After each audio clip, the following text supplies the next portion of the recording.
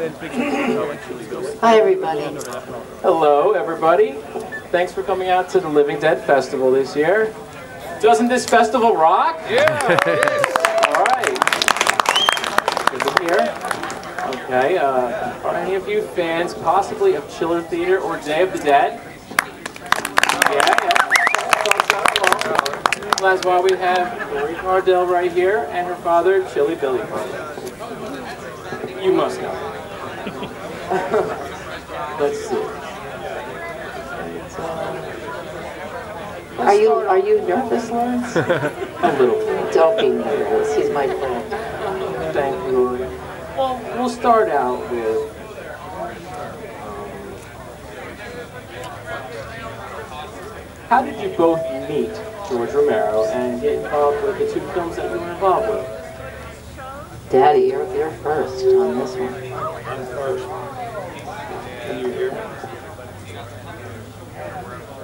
Mic check. One, two.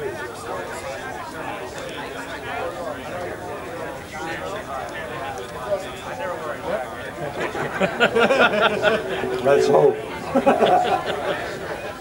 Anyway, welcome. Nice having you here. We have an international meeting here. Australia, London, etc. Turtle Creek, Slippery Rock. But anyway, nice to be here with all the folks uh, from also Russ Streiner and of course George Romero coming tomorrow. But uh, I, before I,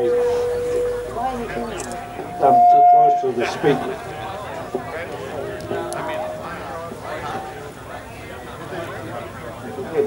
No, I'm right here. It's bigger, it's more. Raise yourself. Facing this one, the speaker, We do, Mr. South. Because it comes out of the speaker. Believe it or not, this happened, I'm a Catholic and I was, I used to be a. Hello? Hello. Anyway, uh, they're good. Uh, I was, uh, I was going to say, at my, my mass, mid, uh, noon mass, after uh, Chiller Theater, I would be doing Chiller Theater on Saturday night, all the way till uh, three o'clock in the morning, then go out for breakfast, and then I would get up, and Lori and Billy and my other daughter Maria, my wife, we went to a church, St. Teresa's, and I was a lecturer. And the first time I went out, the same thing happened. Just feedback. So the Lord blessed me, and I haven't shut up since. no, the, the way George and I met, I mentioned it to a couple of today, and Russ Streiner, two of my favorite of all times. I mean, I've watched their career. I was in TV since 1952 right after college. There were three stations in, in Pennsylvania. There was one in Erie, uh, one in Pittsburgh, and one in Philadelphia. And uh, I did radio in college and high school, but I wasn't a professional because in my business, you're not a professional till you get paid for it. And uh, I did it for experience. I had my own show every night on the CBS station. I played music on Saturdays, but I learned from some real good teachers who wrote about radio. I worked for a good station owner and a program director, and they taught me a lot. One little aside, I'll say here. One little aside. This is comfortable. When I went on for the first time, true story, never before repeated, I uh, went down and I, was on athletic scholarship and I got to the station about 11 o'clock. This is radio, DAD. I got there and, uh, I, you know, when you're young, eh, 20 years, uh, nothing to it, you know, what the hell. So I, I go in, the man does, he was doing news, sports, and weather, about seven minutes, and then it was my turn. Now I had to sit down, and when you work the board, you do, and I, You had to play each record individually, not like now, but individually. So I sit down, and the uh, program director was the announcer. He says, um, stay tuned for Bill Cardille. He gets out of the chair, I sit down, and he goes on my back. I went like that. Seemed like an eternity. I couldn't speak and I couldn't turn up the knob. He reaches over my shoulder and and I says, Hi, I'm Bill Cardille. And I haven't shut up since that originally. Now I met George, you know, with that, and it was in TV. I came here, and uh, I was doing a show called Chiller Theater, which I created. We were on TV, NBC in Pittsburgh. I was on every night at 10, I mean, Saturday night, 11.30. And uh, at Chiller Theater, in, in, I'd say about 66, I was on in 62, double feature. And uh, I, one time I got a call from Karl Hardman, my first call. He's in the movie as well. And he said, well, listen, uh, we were going to do a movie uh, in it. Uh, we'd like to have you in it. Because I did chiller movies, you know. And at that time, Super 8 was popular. And I, I did wrestling. I did every show possible on TV, live and direct. And they said, listen, don't worry about a thing. And I just didn't say, I said, I don't want to do any more movies. Well, eventually, Karl was pretty persistent, and I said, okay. It turned out I got to meet George and also Russ. And uh, the, on Saturday nights, I sometimes got out at 3 o'clock in the morning. And uh, I'd have breakfast, and then they says, listen, because I had no times off. I was going to Philadelphia doing a wrestling show every other week. that was national, and I really didn't have time. They says, well, listen, you come up after the breakfast. When the sun comes up, we're going to shoot you. We'll do it. Well, I got there, and my director and friend producer, we're there. We found the place. We we got there about five in the morning. I've now I've been up since about eight o'clock Saturday morning, and they, hey, hey, you know, waking up a you, and they say, we're going to do it as soon as the sun comes up. You're first. We promised you. I says, yeah, I got to get home, get some sleep. Well, five o'clock that afternoon, they says we're ready. Had a little trouble with the camera and some other things, and uh, I did it. And and I, anyway, from George and Russ, after the movie was made, the first time it was shown, and Russ will hear this part. We got. He says he called me at the station. He said, "Listen, I got a print of the movie, but I'm not allowed to show it." Duquesne University was going on mid-break, and on the mid-break, we'll go down and show it to them and get a reaction, see what they think. So that happened. I went, and they went crazy. And it was the start of something big and wonderful. I met George, was with them over the years. I want Lori to tell you about George, about her off-Broadway play where he saw Lori, and it's the first time. You tell her. I actually met him, when uh, Night of the Living Dead was shown. I was in the eighth grade, That's and uh, this big limo comes to our house in Camden Court in the North Hills, and uh, we all go. And I hated watching my father's show because I never understood why people liked being afraid. I mean, I was afraid enough, and I thought, I don't like those movies. They scare the heck out of me. But we went to somewhere in Pittsburgh. Where, do you remember where they showed Night of the Living Dead? Yeah, right down on Sixth Street, across uh, from the parking lot there. Oh, okay. Warner? No, Warner. Yeah, the Oh, Fulton. the Fulton. It was a great night. But I, I was so scared. I stayed in the where the popcorn was the whole night. I didn't I didn't watch it. I think I saw the first two seconds and I said I'm out of here. And um, anyway, so I didn't see George for years after that. But although he would remained a friend of my father's, and I had gone to school for theater at Carnegie Mellon, where George went actually.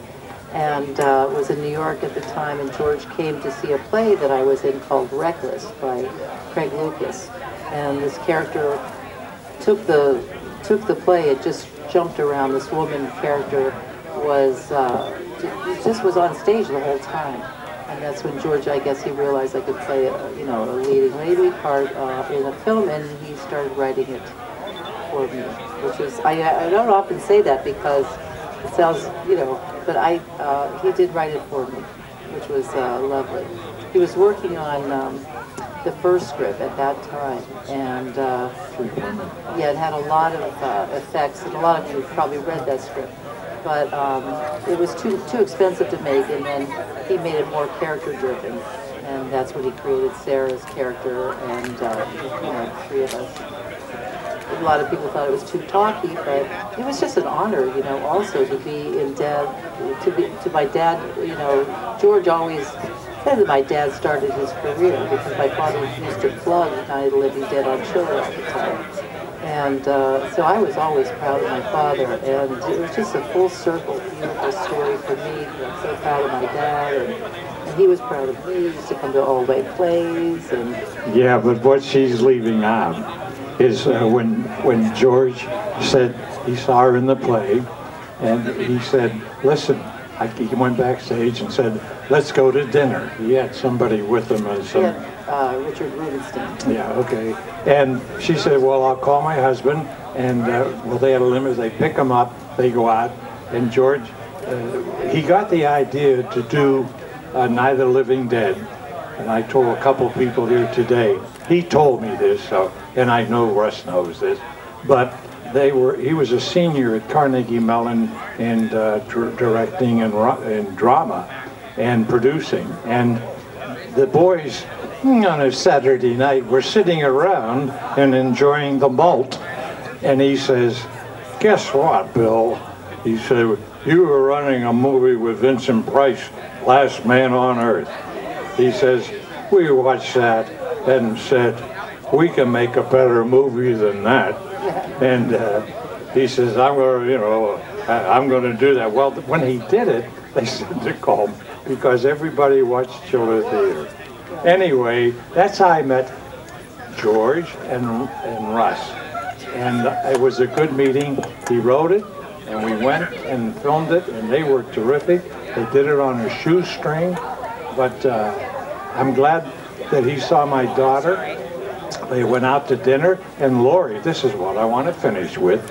Lori uh, said, uh, Mr. Romero, I know you. And something like this. And he says, what? He said, she said, you were coming out to pick up my dad in the limousine, the limousine driver, and I did a show from four to six called The Money Movie every day. And they said they picked me up in the limo to home because I wanted to change. So I, I run home, there's this stretch limousine, and the driver said, take your time, you know. He, got- he was early. And he took Lori and my son Billy around the blocks for rides while they were killing time. And I'll tell you, I was, so she says when they meet and they're having dinner, I met you. And she said, he says, what? And she says, well, I was in the limousine you sent out to pick up my dad. Your dad? Chilly Billy. Oh my God. that was the beginning of a great relationship. Just wonderful. I can't say enough nice things. Thank you. One question in about the Night of the Living Dead remake. You were in that, small cameo. Well, I wanted to know, did they make you wait around as much as made you wait in the original movie? I didn't want to make the uh, the sequel. I didn't want to do it, but uh, George said, you know, for George you'd do anything, you know. But I I was on, like I say, on TV. I was doing then uh, the inserts to CNN locally in the tri-state area. I was on the TV from uh, five to seven. I did the inserts on the Today Show, and I said, "Gee, you know what? I I just don't know what I can do." He says, "Well, listen, uh, think about it." So, um, what do you think? You remember? when you did the, uh, the remake, Yeah. yeah. Management that day came to me, Yeah. I- and I wanted you to pick it up. But anyway. My general manager came to me and says, "Hey, you're supposed to be down in, in um, Canonsburg. They're going to redo the ma-" I said, "Yeah, I know." I said, "Well, it's today." Oh, I forgot. Well, after I got out of the station about one o'clock, deja vu. I drive down and I go through the boom, boom, boom, boom, and I get there, and uh, Tom Savini uh, was involved, and um, some others, and I get out of the car, and now, mind you, I got there at one o'clock, one or two o'clock, and uh, they, the station called down and said the news was at uh, six o'clock. They said, we want you to do a live report at six o'clock. Well, I had to stay. So I stayed and we did it. But the part I did was to renew my own, the spot. They had a, a helicopter coming up. But it was, to me, uh, it wasn't the same. I, I wasn't directed by George or uh, our other fella. However, uh, Tom Savini at that time was responsible for that. And uh, but George was there, and and they, but they they were doing everything fast, and uh, I never saw it to this day. I never saw it, but when it did come out, um, I worked for I don't work, but AAA. We traveled through them. We went to Italy, and uh, I, you know, I never saw it then, and I never saw it since. But I understand. I don't know. It wasn't very well received. The sequel was I it? don't know. Yeah. I guess the fans could tell us. But, The but years since, uh, it has grown. Uh, Has it? Following, cult following. Is that right? Now, is it holding up? Um, It's yes. different. You know what? Out of all the remakes that they do in horror these days, a lot of them are really not that good. But this one Right. is decent, and it doesn't really screw up. Well, a lot that's do. Yeah, that's what I, I was thinking because uh, when when it first came out, I don't know if you know this. We in Pittsburgh, it played three days. Didn't cost them money. They got the money back in three days, but they, uh, you know, I won't go into the background. Uh, some producers and uh, movie studios in Hollywood, they're not uh, honorable and uh, I'll leave it at that. Uh, I just, I, I, that'll be up to George. Ask him about the beginning days. And, and the reviews came, I thought it was going to be a big hit. I mean, really, I did. It was in Pittsburgh, and not because it was George. I talked to servicemen. I got letters from all over the world, from the American servicemen, and teachers overseas in Rome and in Spain. And they'd say, most of them were little letters. They were terrific. Hey, I didn't know you could speak German. Hey, I didn't know you could do Italian. I did, but it was well received. So what happens? Remember Siskel and Ebert? Siskel and Ebert. I don't know which is the heavy set one. Ebert. Siebert. Siebert, Ebert. Ebert, E B E R T. Roger Ebert. Yeah, Roger. He came out. With, they used to be uh, uh, on TV, national, and they were judges and saying this is a good movie. That, well, Ebert comes on and he says, one of the worst movies I've ever seen was Night of the Living Dead. Really? And it's a true They story. didn't like Day of the Dead either. they hated it. They hated it. No, no, this is the first. You you asked George. I, most of the stuff I'm telling you, George told me. But anyway, as, anyway, he says uh, it wasn't any good, etc., etc. Boom, boom, boom. Well, the movie took off. It was accepted, and in the next seven months, Ebert did another review, and he said, "You remember?" Yeah, he changed his position. entirely. He said, one of the best movies, uh, a show, a movie that will be setting the standards for the come. So when he said it the second time, it really took off. And it's been that way ever since. So George and Russ and all the folks involved, and, and